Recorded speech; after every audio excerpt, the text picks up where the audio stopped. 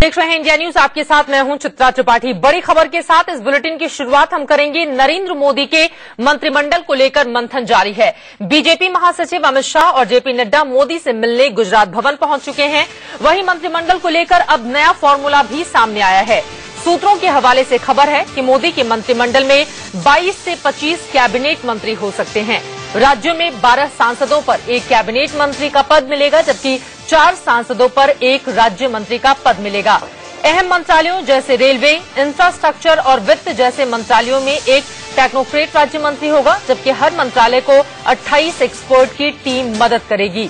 सूत्रों से ये भी जानकारी मिली है कि मोदी सरकार में जीओएम की परंपरा नहीं होगी। आपको बता दें, इसके पहले यूपीए में जीओएम ग्रुप ऑफ़ मिनिस्टर्स की परंपरा थी। काफ़ी अहम निर्णय लेने की ज़िम्मेदारी सौंपी गई थी उन्हें, लेकिन अब तक कोई भी बड़ा फैसला यूपीए सरकार के दौरान जीओएम ने नहीं लिया इसी वजह से माना यह जा रहा है कि उसे खत्म किया जा सकता है। और इस वक्त हम सीधे रुख करेंगे गुजरात भवन का जहाँ से इस वक्त हमारे संवाददाता यतेंद्र शर्मा जुड़ चुके हैं। यतेंद्र दो दो दिग्गज नेता पहुँचे हुए हैं। किन बातों को लेकर मंथन चल रहा है अंदर?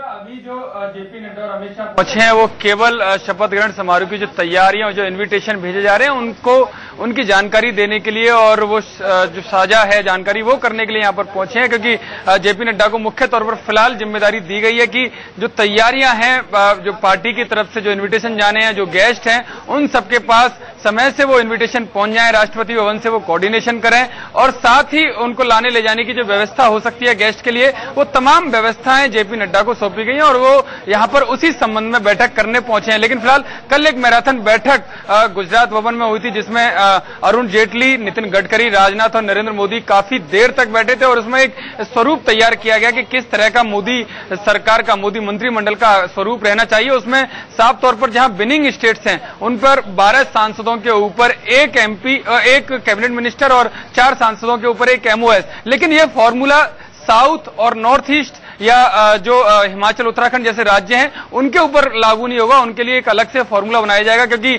बीजेपी नेताओं का कहना है कि जो साउथ या नॉर्थ ईस्ट में जितने भी स्टेट आते हैं वहाँ पर बीजेपी के कैंडिडेट ज़्यादा संख्या में नहीं जीते हैं। तो वहाँ पर बारह एमपी के ऊपर एक कैबिनेट का फॉर्मूला फिट नहीं बैठेगा। जैसे उत्तराखंड या हिमाचल में केवल चार और पाँच एमपी हैं तो वहाँ पर भी यह फॉर्मूला फिट नहीं बैठेगा। तो यहाँ पर क्या कैबिनेट दिया जाए या एमओएस दिया जाए ये बाद में आज या कल में बैठकर तय कर लिया जाएगा। लेकिन फ़िलहाल आपसे बिलिंग समझने की हम कोशिश करते हैं। ये जो बारह सांसदों पर एक कैबिनेट मंत्री और चार पर एक राज्य मंत्री का फॉर्मूला है ये सहयोगियों पर लागू होगा या फिर राज्यों के हिसाब से इसे लागू किया जाएगा?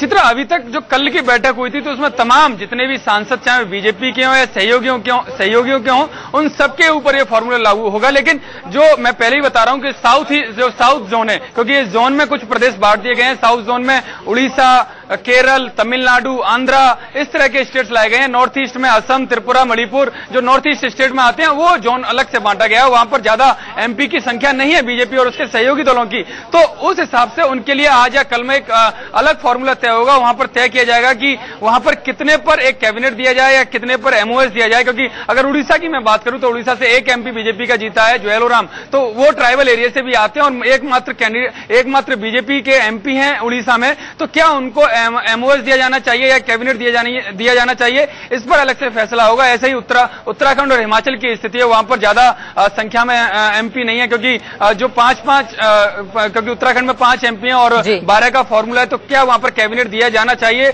या नहीं दिया जाना चाहिए इस पर बीजेपी नेता आज या कल में फिर से बैठेंगे और उसके लिए अलग से फॉर्मूला तैयार किया जाएगा। बिल्कुल उत्तराखंड के साथ ही कई और राज्य भी हैं देखना यही होगा कि नया फॉर्मूला इस पर क्या आता है। यतेंद्र हमारे साथ बने रहेंगे और इस वक्त